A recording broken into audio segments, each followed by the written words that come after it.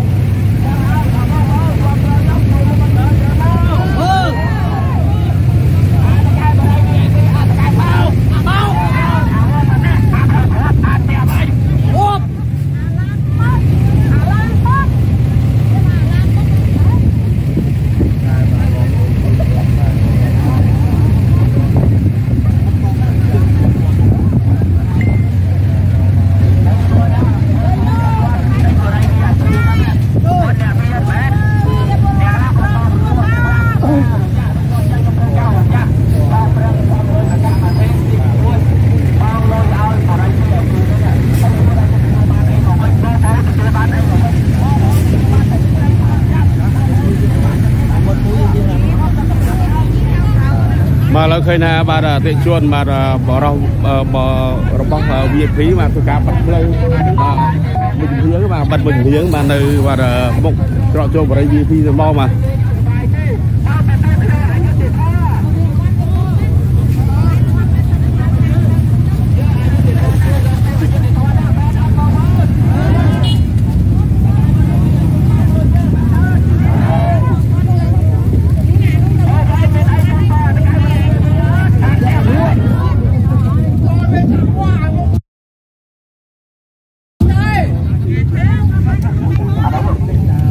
បាទ នេះម្ចាស់បរិយ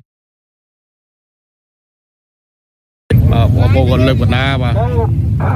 ងៃនេះគឺបងប្អូនប្រជាពលរដ្ឋជួជួជួមកឲ្យបងប្អូនប្រជាពលរដ្ឋរងគ្រោះក៏ដូចជាខ្ញុំក៏ជាជនរងគ្រោះម្នាក់ដែរនៅដែលបានទិញបរិយា VIP គឺមានក្តីបារម្ភខ្លាំងបំផុតនិងមានការជួយចាប់បំផុតដោយការបរិយា VIP បោកប្រាស់មួយបងប្អូនប្រជាពលរដ្ឋនិយាយចាំចាប់គឺបងប្អូនបងប្អូនប្រជាពលរដ្ឋព្រោះហើយយល់លុយបងប្អូនប្រជាពលរដ្ឋយើងទៅហើយទិញអត់អត់មានទេហើយទេអត់ធ្វើនេះហើយអត់ដោះប្រងហើយហើយអ្នកបងប្អូនទិញដីទៅក៏អត់ចេញកន្លងហើយដែរក៏បងប្អូនដាច់អស់ហើយគឺថាអានេះយើងទិញយកគេតែទិញអាគឺទិញហើយមិនត្រូវអត់រកទេហើយ បាទ លោកស្រីបាទឃើញថាបាទអតិជននេះច្រើននេះបាទទិញបរិយ VIP ហ្នឹងមកកំពុងតែផ្ទុះការតវ៉ាបាត់ផ្លូវបាទនៅផ្លូវបាទ217នេះបាទនៅមុខច្រកចូលបរិយ VIP ម្ដងបាទនៅសង្កាត់ស្ពានថ្មខណ្ឌនគររាជធានីភ្នំពេញ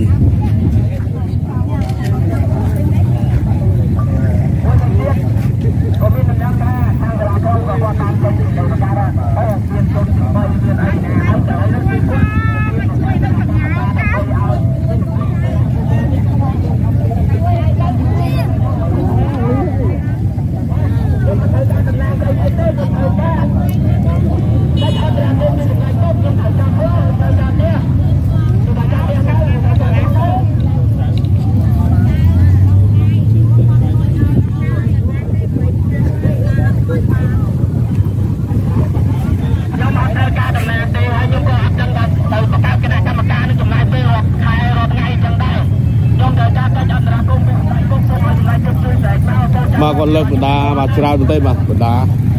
បាទមាននឹងរូបបាទតកែបរិយបាទទាំងប្តីទាំងប្រពន្ធបាទ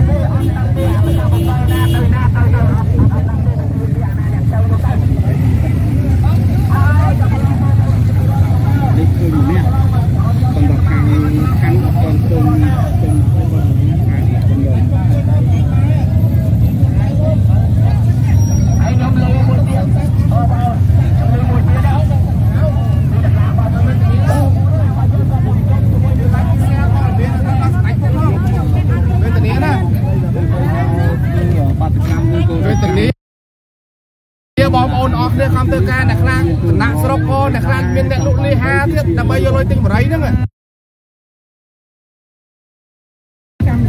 វេទនាណាបងប្អូនអើយខ្ញុំធ្វើការនៅថៃ5ឆ្នាំបលិដេញចាប់រហូតមួយថ្ងៃបានតែ400បាតទេ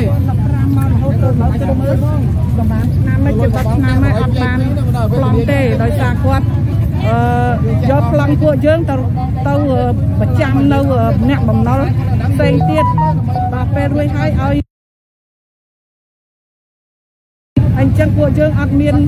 លុយទៅទៅទៅលួសពីចាស់បំណុលទេអញ្ចឹងសូមឲ្យបាទបងប្អូនយើងមកនេះសូមពឹងទៅខាងសម្ដេចឲ្យសម្ដេចជួយសម្រួល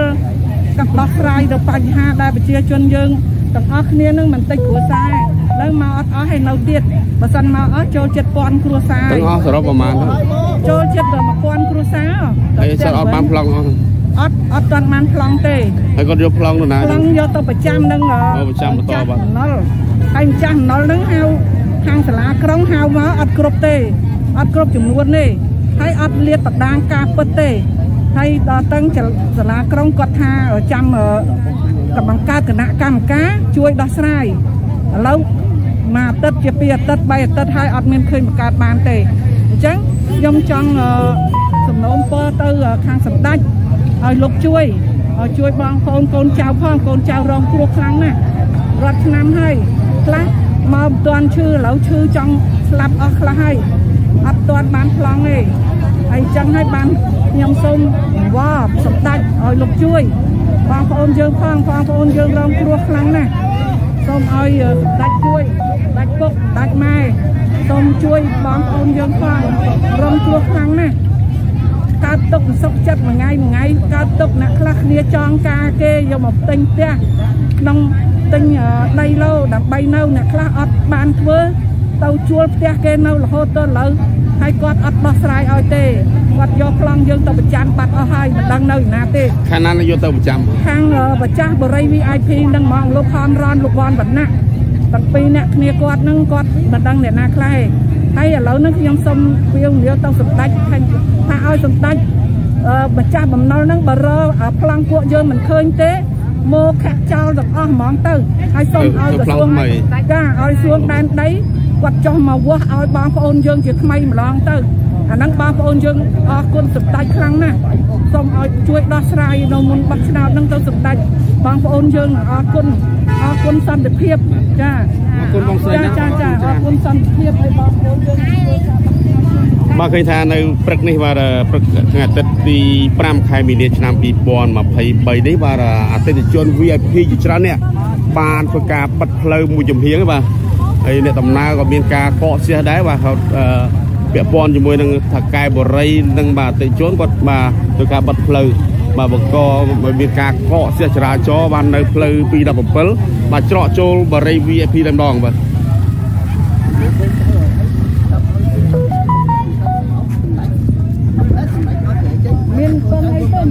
មានប្រាប់ពីសម្ដេចទេបាទកូនតាំងកូនចៅ2015ចង់មកស្នើសុំឲ្យសម្ដេចជួយអន្តរាគមន៍ផងរឿងហ្នឹងបាទបងអញ្ចឹងប៉ុណ្ណឹងទី1គឺប្លង់ទី2គឺសាងសង់សាងសង់ផ្ទះបាទបងបាទបាទសាងសង់ផ្ទះណាបាទបាទចឹងអរគុណច្រើនណាស់បងប្អូនបាទឥឡូវគាត់អឺសំណុំពរឲ្យខ្លះជួយនិយាយមកស្រួលបាទអូនសំណុំពរឲ្យខ្លះអូនចង់ស្នើពរឲ្យសម្ដេចជួយអន្តរាគមន៍ ដល់បរិយា VIP ដែលរងគ្រោះច្រើនឆ្នាំមករឿងប្លង់រឿងសាងសង់ផ្ទះបន្តវាអត់ធ្វើឲ្យសោះសន្យាចោលរហូតហើយលុយបងបងទៅអស់ហើយបងណាច់ហើយបងដាច់អស់ហើយចេញឲ្យភ្លាមសុខចិត្តជាពាក់ធនាគារបងទៅធនាគារអាអត់មានឲ្យជាពាក់បរិយទេតើគាត់ទៅមួយអគាត់ទៅមួយ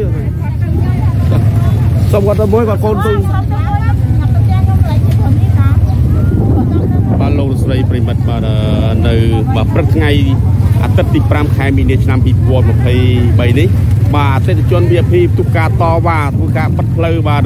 ទៀតហើយបាទកមុនបិទបាទបាទដោយសារតែបាទមានការបាទទូការតវ៉ាជាមួយនឹងបាទលោកតកែបរិយបាទបាទឈ្មោះអីតកែបរិយមើលបាទខំវខំរននឹងវត្តមណៈប្រៃពុនគាត់មែនទេពីរនេះបាទបងបាទបាទ នេះ មានតែមានអក្សរ បាទនេះរូបអឺតកែបាទអឺបរិយ VIP បាទវាឈ្មោះគាត់ដល់ហ្នឹងហើយបាទធម្មរននឹងវត្តវណ្ណៈបាទសូមលោកទាំងពីរចេញមកដោះស្រាយបាទសាងសង់ផ្ទះនិងប្រកល់ប្លង់ជូនជនរងគ្រោះបរិយ VIP បាទនេះបតារបស់គាត់លើកបាទនេះតិជននេះបាទគាត់បាទលើកបតារៀងរៀងខ្លួនបាទកាន់ម្នាក់មួយដល់មួយបាទ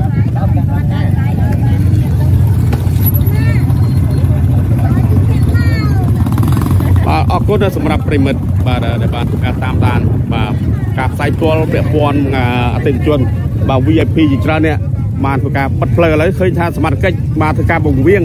បាទឲ្យអ្នកដំណើរឲ្យបាទបាទបត់បាទមកបាទឆ្វេងហ្នឹងបាទបត់ឆ្វេងបាទដើម្បីបាទកុំឲ្យមានការកកស្ទះបាទឃើញថាសមត្ថកិច្ចបាទដាក់គោលដៅបាទប្រហែលជា300ម៉ែត្រពីខ្ញុំបាទបាទដើម្បីបញ្ជាបាទរថអ្នកដំណើរបាទទាំងម៉ូតូទាំងឡានឲ្យវៀងនៅផ្លូវផ្សេង បាទមកផ្លូវនេះកើតគឺបាទ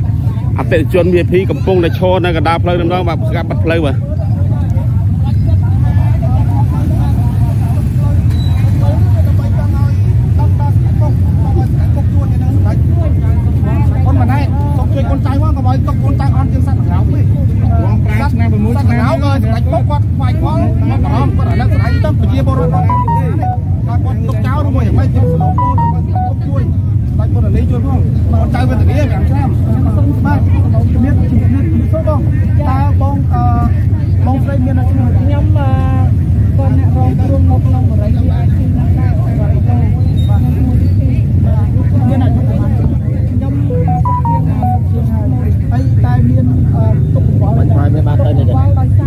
ទៅទៅ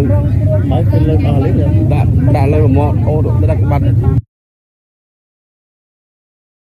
ឡាយបានដែរ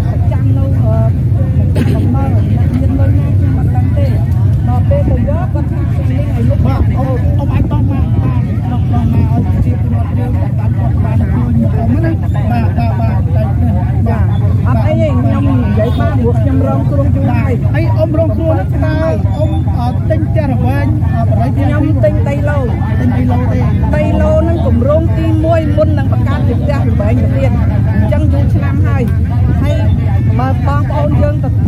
មិនមែនធ្វើខុសតាមបាត់ផ្លូវហ្នឹងទេមុននឹងបាត់ផ្លូវហ្នឹងគឺរយៈពេលទៅទៅទៅខាងអត់ទៅសកាត់សកាត់ខាង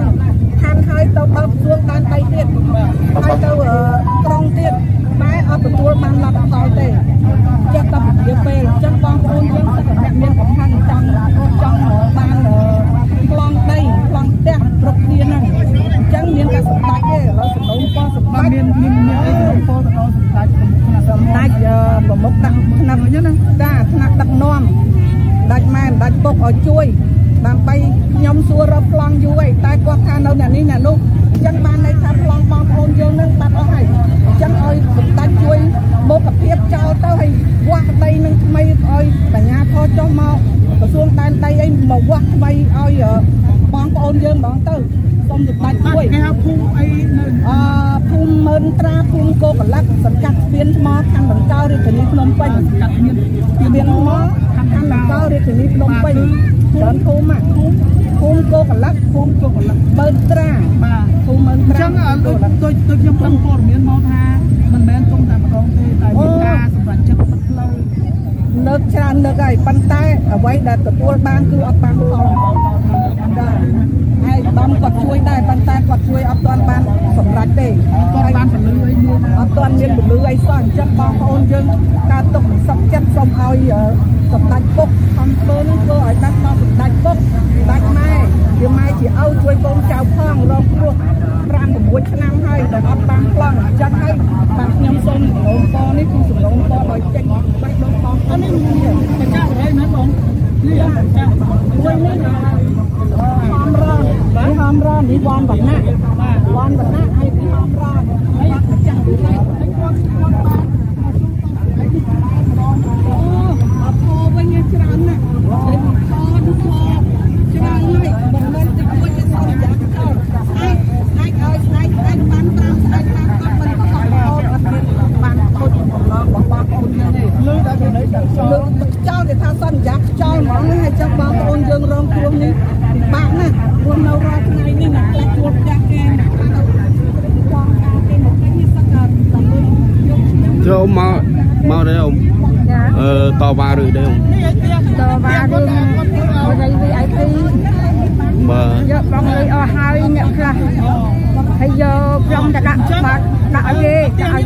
អូតគេកែយកប្លង់ដៃអឺអតិថិជនទៅប្រចាំបន្តចាំបន្តហើយទៅឲ្យលុយអស់ហើយអ៊ំអត់ធ្វើផ្ទះឲ្យគេទេអ៊ំទិញដីឲ្យទិញផ្ទះអ៊ំទិញផ្ទះទិញផ្ទះចាហើយយកលុយបានលុយបណ្ណាទិញលុយធនាគារឬក៏យកលុយពីរៀបទៀតទៀតទៅបងឲ្យគេរងថ្ងៃមួយ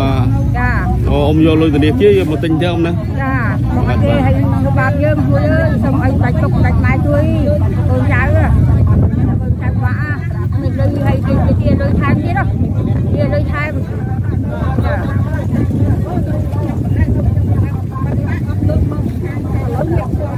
គេលុយយើងថែមទៀតបាទឥឡូវសនំពយខ្លះអ៊ំនិយាយចាសនំពយខ្លះយើងពោថាជួយបាច់ទុកដាច់ម៉ែឲ្យបានស្រង់ដីចាចាពុកម៉ែជួយណាកូនចៅកូនចៅនៅបាក់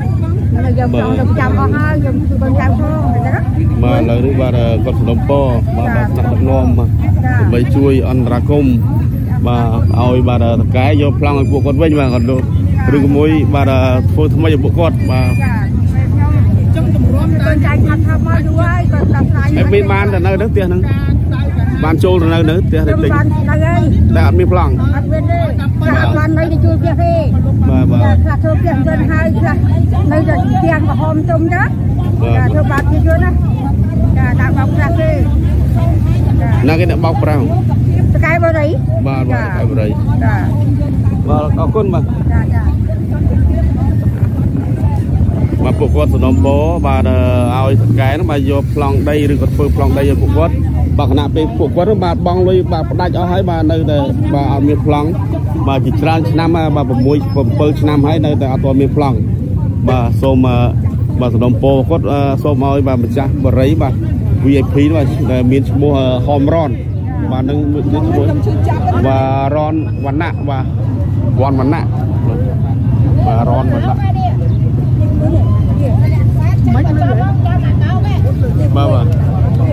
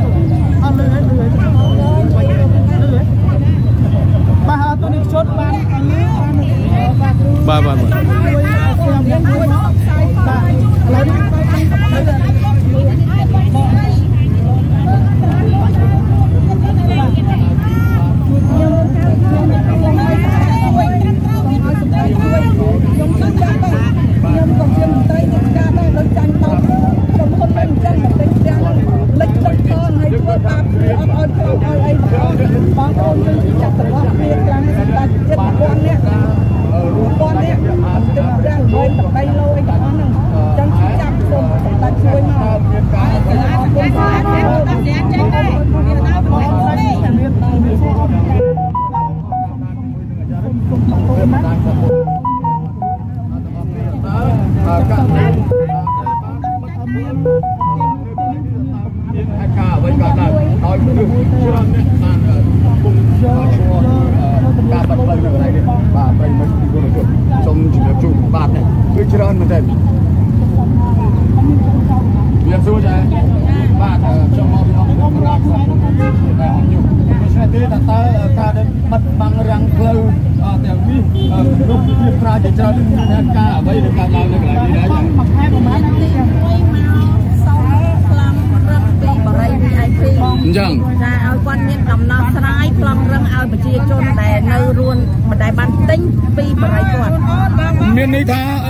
ពួកអ្នកទាំងអស់គ្នាគឺជាអ្នកទិញបរិយមែនទេចា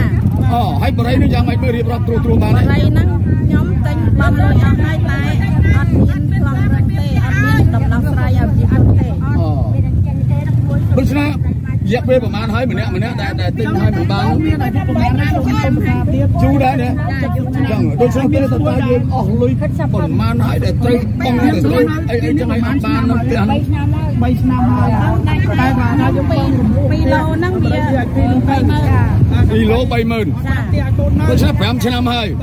តើយើងអឺការទទូចការដែលយើងនិយាយទៅអាម្ចាស់អឺ ក្រុមហ៊ុនម្ចាស់បរិយហ្នឹងតើគាត់និយាយជាមួយយើងថាម៉េចដែរ